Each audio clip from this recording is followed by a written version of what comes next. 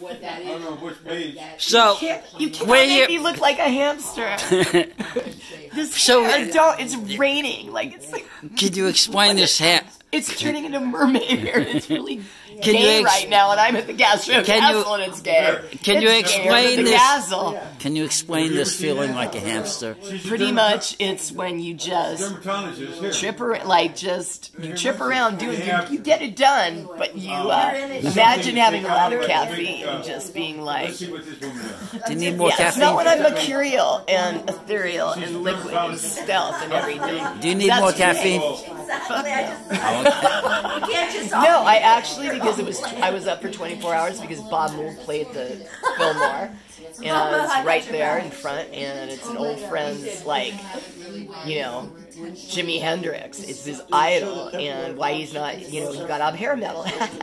he's a great guitarist, and Oh, she's got.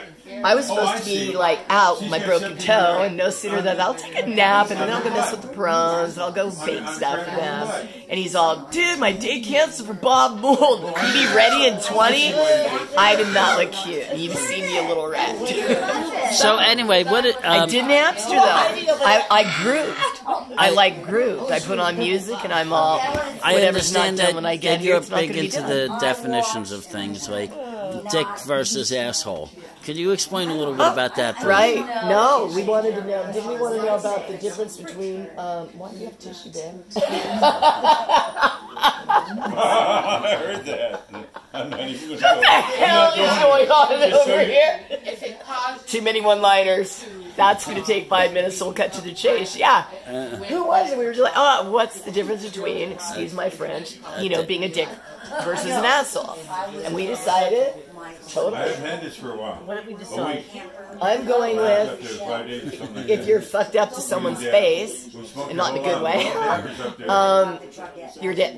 If you do it behind the back, you're an asshole. is when I keep asking. Like, you're, you're an asshole. Okay. Now, oh yeah, that, which led to, which is worse, being a dick and an asshole. What about a douchebag?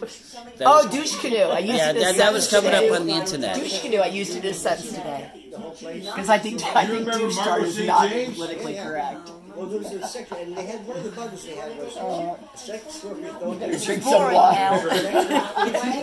She's 18. Get me off this thing.